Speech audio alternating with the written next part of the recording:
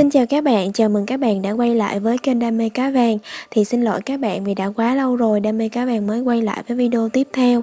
Dạo này thì thời tiết khá là nóng và nhiệt độ nó cũng khá là cao Nên là mình quyết định làm một cái video liên quan đến chủ đề nhiệt độ nè Để các bạn có thể quản lý được nhiệt độ trong hồ của mình được một cách tốt nhất nha. Và trước tiên á, để xem tiếp video thì đối với các bạn chưa nhấn nút subscribe thì các bạn hãy dành 3 giây thôi Để nhấn nút subscribe và nút chuông để nhận được thông báo khi mà Đam mê cá vàng có video mới nha.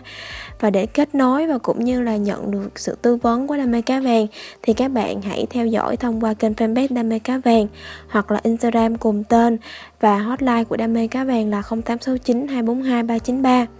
và bây giờ thì xin mời các bạn cùng xem nội dung tiếp theo của video và chủ đề tuần này của video tuần này đó là tính quan trọng trong việc quản lý nhiệt độ trong hồ cá vàng. Let's go, chúng ta cùng bắt đầu nội dung của video thôi.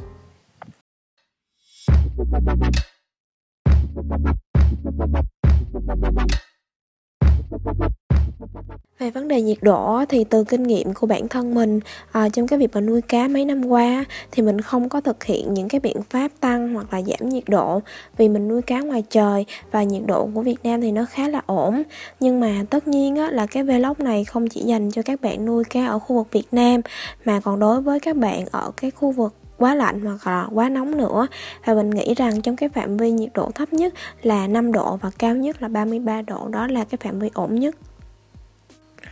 và mình biết rằng á à, có một cái phương pháp để mà ngăn chặn nhiệt độ nước thấp vào mùa đông đó là các bạn sẽ thường dùng sưởi nhưng mà à, quản lý nước bằng sưởi á, thì có khả năng là cái tỷ lệ chỏng của cá nó bị cao. Chỏng có nghĩa là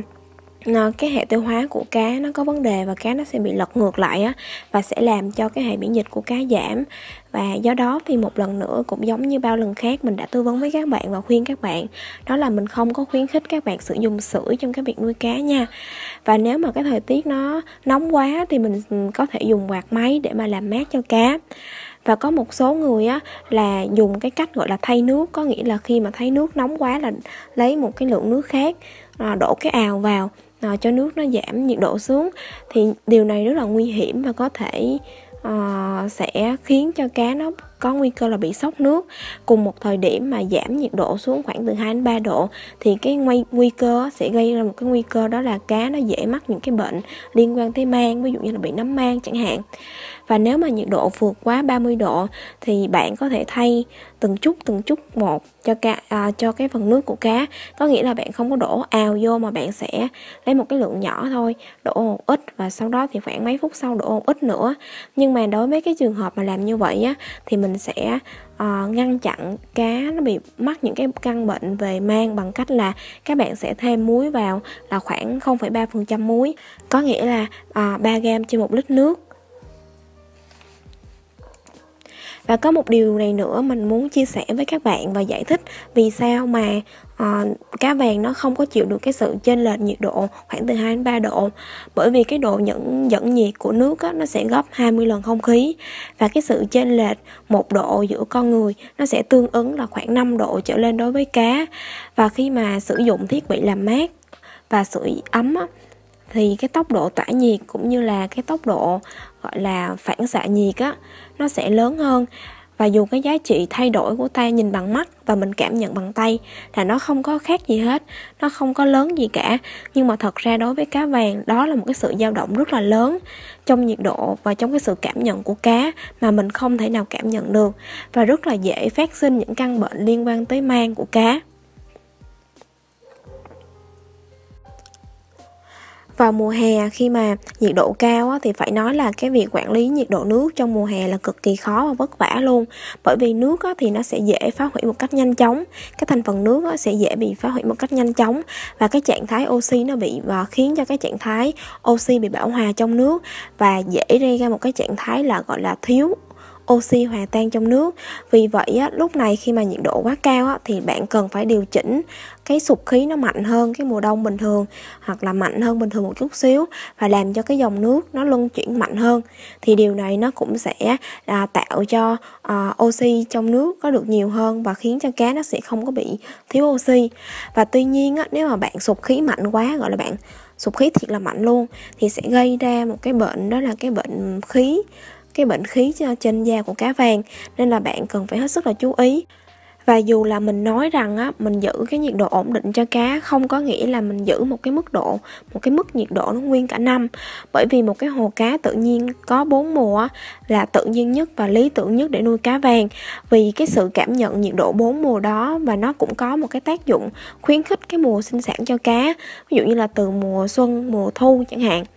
và có rất là nhiều những cái thông tin khác nhau về nhiệt độ cá có thể chịu đựng được. Như là từ kinh nghiệm của mình và rất là nhiều người khác, thì cá nó sẽ chịu được một cái uh, mức nhiệt độ là khoảng từ 2 độ đến 33 độ. Thậm chí á, là cá có thể chịu được cái nhiệt độ là 35 độ. Nhưng mà chỉ trong một khoảng thời gian rất là ngắn thôi và tạm thời thôi. Nếu mà nó kéo dài khoảng từ 2 3 ngày là chắc chắn rất là nguy hiểm. Nguy hiểm đến cái sự sống của cá nữa.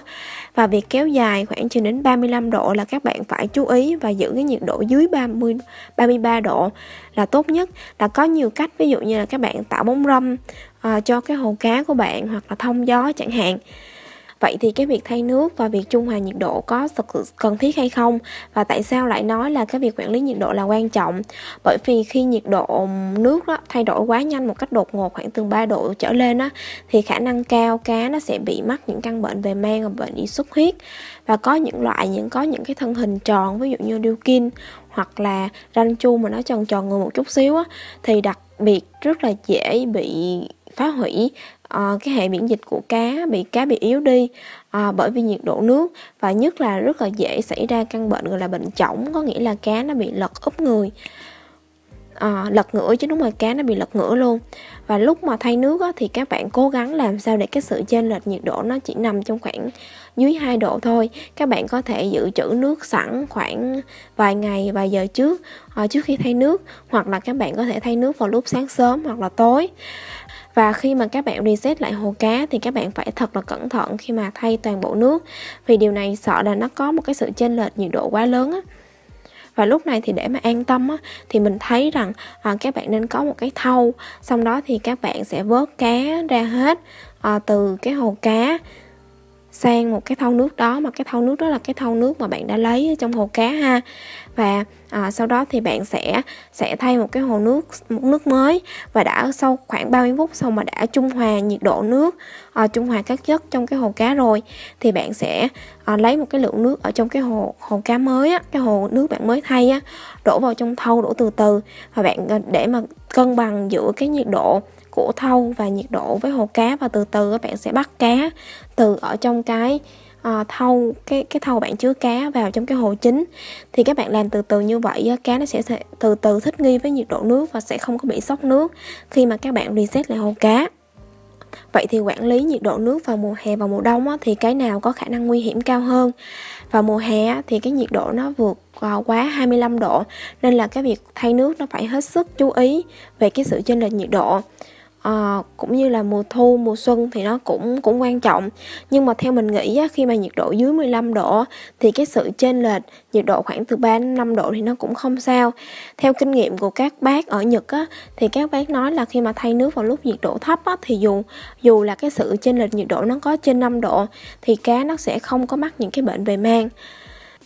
Và cũng có một cái tip nhỏ mình muốn chia sẻ với các bạn để mà cho cái việc à, thay nước hoặc cái việc quản lý nhiệt độ nước nó được xảy ra một cách an toàn.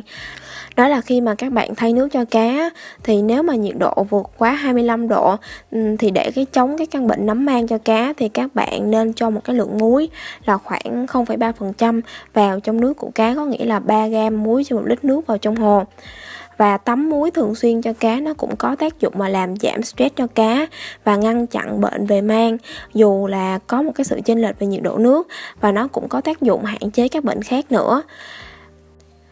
Vậy là mình đã chia sẻ xong những cái điều mà cần quan tâm và chú ý về quản lý nhiệt độ hồ cá. Vào các thời tiết nóng như hiện nay á, thì cá nó rất là dễ bị sốc nhiệt Nên là mình khuyên các bạn nên hạn chế mua cá vào ban trưa và sau đó thì đem về nhà thả. Và tiếp theo thì mình sẽ có vài cái tóm tắt và cái ghi chú chính để cho các bạn lưu ý về à, việc quản lý nhiệt độ hồ cá nha. Thứ nhất là các bạn sẽ không thay, không nên thay à, thay nước một lần với một lượng nước quá nhiều để mà giảm nhiệt độ cho cá. Thay vào đó thì các bạn hãy thay nước từng chút từng chút một và thêm muối khoảng với nồng độ là 0,3% tức là 3 gam muối trên một lít nước cho cá.